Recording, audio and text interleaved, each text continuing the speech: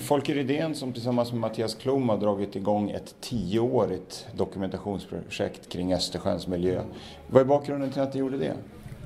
Ja, Mattias och jag vi valde att ehm, bestämma oss för att uppmärksamma problemen på hemmaplan istället för att åka runt som vi båda har gjort i världen och uppmärksamma stora och svåra problem eh, långt borta ifrån Sverige.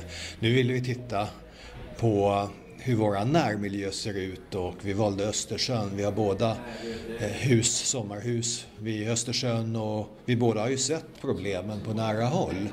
Och vi menade att vilken rätt har vi att åka till fjärran länder och påpeka problemen för dem om eh, vi inte kan reda ut eh, våran egen dynga, våran egen farstubro så att säga.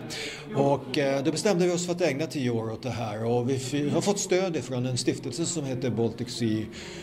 2020. Och tack vare det har vi kunnat jobba nu i fem års tid och kommit ut med två dokumentärfilmer.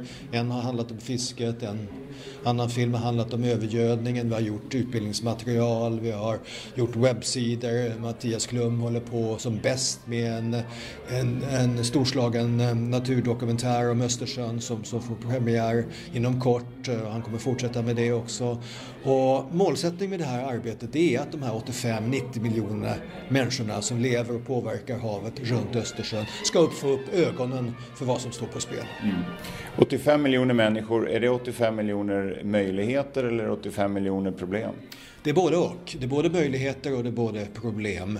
Eh, först måste vi, menar vi, peka på problemen, hur de ser ut, sen vad som går att göra åt och sen också försöka kommunicera olika lösningar. Och vi tycker vi har sett hittills att det går att göra någonting. Mm. Fiskefrågan har lyfts på agendan, man försöker göra någonting av utkasten som vi har påpekat i vår film. Eh, de stora djurfabrikernas utsläpp som påverkar övergödningen i Östersjön försöker man också göra någonting åt. Så det går att göra, det är inte nattsvart långt ifrån. Men vi måste se möjligheterna, vi får inte bara se problemen. Mm.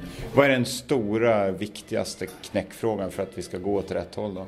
Den stora viktigaste knäckfrågan, det som är viktigast eh, för de flesta människorna, det är information och kunskap. Utan information och kunskap och utbildning om man så vill, så kommer vi fatta felaktiga beslut eller inga beslut. Vi, vi kommer mm, kanske att överlåta saker och ting eh, åt folk eh, som kanske inte har de bästa avsikterna för vårt gemensamma hav. Så att information och kunskap, utbildning, det är viktigast.